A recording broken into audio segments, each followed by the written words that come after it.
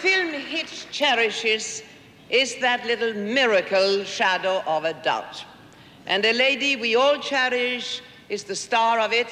And here is my dear friend, Teresa Wright.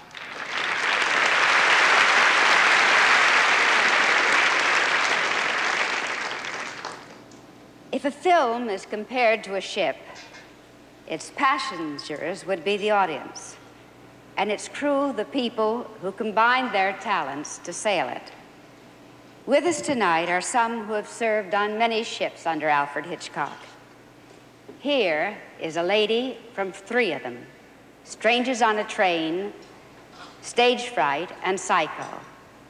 She also made the Hitchcock's grandparents. Pat Hitchcock O'Connor. The actor who fell from the Statue of Liberty in Saboteur has landed on his feet to become a director himself, Norman Lloyd.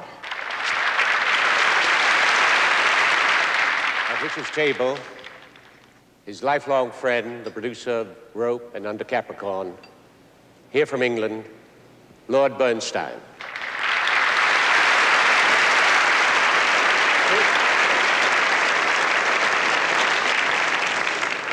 An old and valuable friend of Hitch's who worked with him in studios in London the time he was making the, his original lodger, Victor Saville. And the Academy Award-winning actress who played in Stage Fright, Miss Jane Wyman.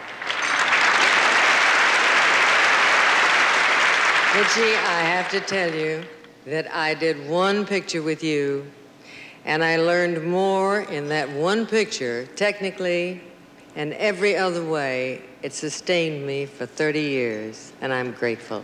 I love you, and I'm going to give you your favorite designer and mine, Edith Head. And now, the famous unfeathered star of the birds, Rod Taylor.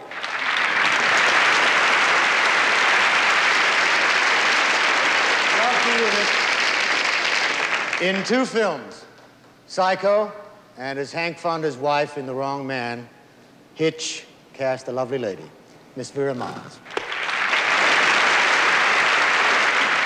The screenwriter of North by Northwest, Family Plot, and Hitch's current work in film, Mr. Ernest Lehman.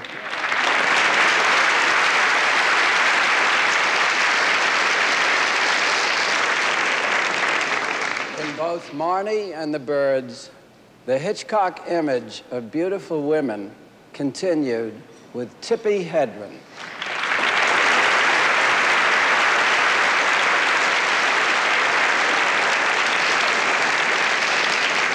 One of the great pleasures of doing Marnie was working with a very gifted film actor, Sean Connery.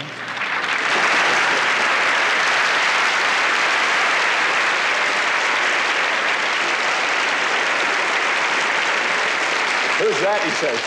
It's me, Hitch. Wonderful to see you. I'd like to introduce the gifted actress who played Mrs. Danvers in Your Rebecca, Dame Judith Anderson.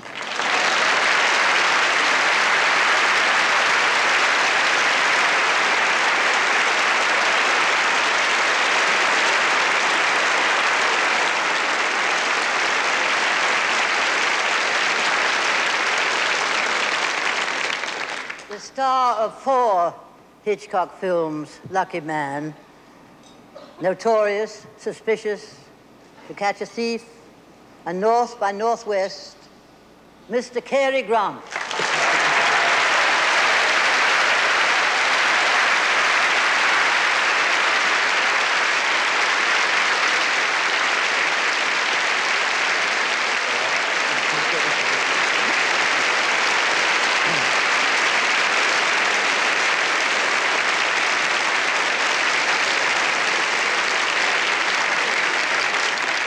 Thank you. The best is yet to come. Hitch.